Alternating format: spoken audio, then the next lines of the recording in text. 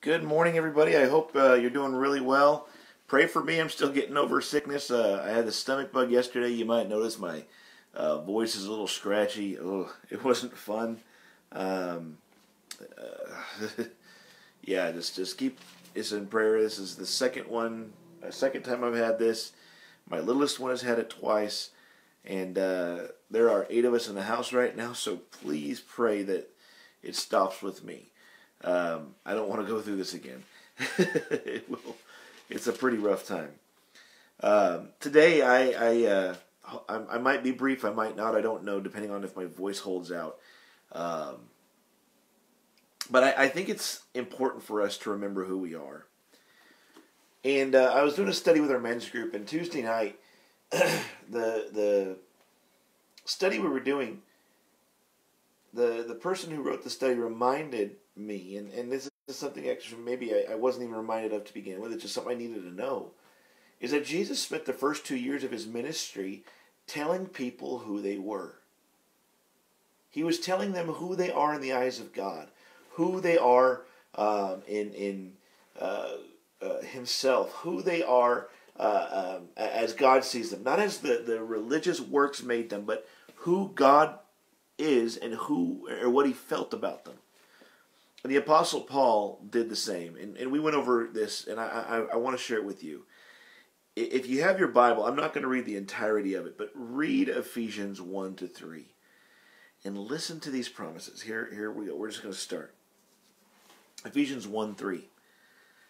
Blessed be the God and Father of our Lord Jesus Christ, who has blessed us in Christ with every spiritual blessing in the heavenly places did you hear that promise? He's blessed us with every spiritual blessing in the heavenly places. Even as He chose us, He chose us in Him before the foundation of the world, that we should be holy and blameless before Him. He's made us holy and blameless.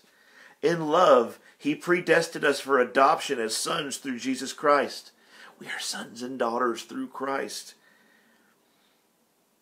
According to the purpose of His will, to the praise of his glorious grace, which he has blessed us in the beloved. Look at that. In him we have redemption through his blood, the forgiveness of our trespasses according to the riches of his grace, which he lavished upon us in all wisdom and insight, making known to us the mystery of his will, according to his purpose, which he set forth in Christ, as a plan for the fullness of time, to unite all things in him things in heaven and things on earth. In him we have obtained an inheritance, having been predestined according to the purpose of him who works all things according to the counsel of his will, so that we who were the first in hope in Christ might be to the praise of his glory.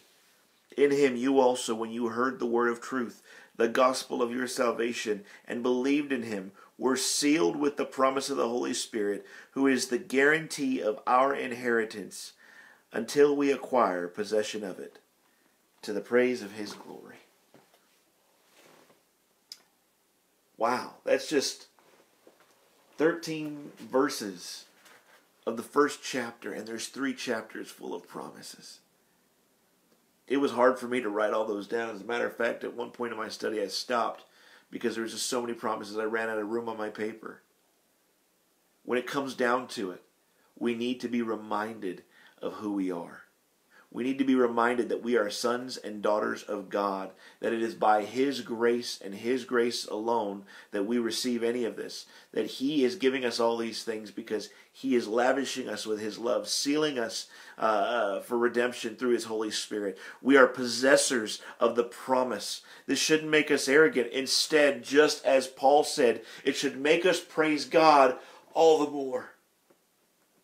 We need to stop looking at ourselves. We need to stop looking within. We need to stop looking at our works and focus on the glory of God by whom we possess all these wonderful gifts that He has given us. It's why I've seen Christians who are in the most impoverished state, who have been uh, uh, beaten and ridiculed and, and fired and, and all sorts of things for their faith.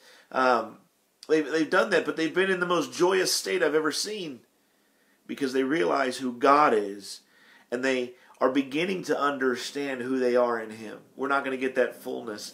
In 1 Corinthians 13, it says, Then we will know as we are fully known, but now we know in part. So, what it comes down to it, we need to understand and realize who we are in Christ.